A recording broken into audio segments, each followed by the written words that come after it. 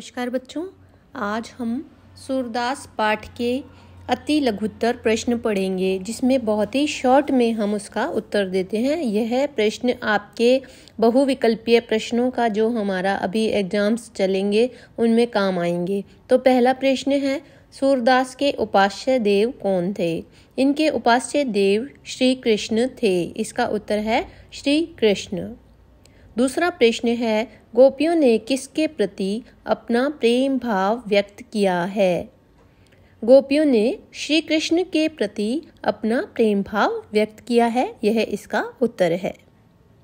तीसरा प्रश्न है, धार बही का क्या अर्थ है?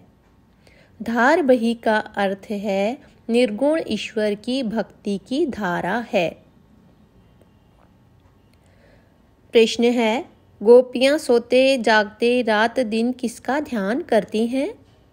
इसका उत्तर है, गोपियाँ सोते जागते रात दिन श्री कृष्ण का ध्यान करती हैं। प्रश्न है सूतो व्याधि हम कौन ले आए? इस पंक्ति में व्याधि किसे कहा गया है? इस पंक्ति में व्याधि योग साधना को कहा गया है। प्रश्न है, मधुकर शब्द का प्रयोग किसके लिए किया गया है?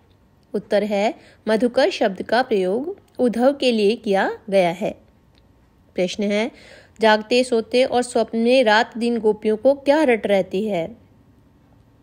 उत्तर इस प्रकार से है, जागते, सोते एवं स्वप्न में रात दिन गोपियों को श्री कृष्ण के दर्शन की छवि की रट रहती है। प्रश्न है, हमारे हरिहारिल की लकड़ी यह किसने किसको कहा था? ये शब्द गोपियों ने उद्धव से कहे हैं।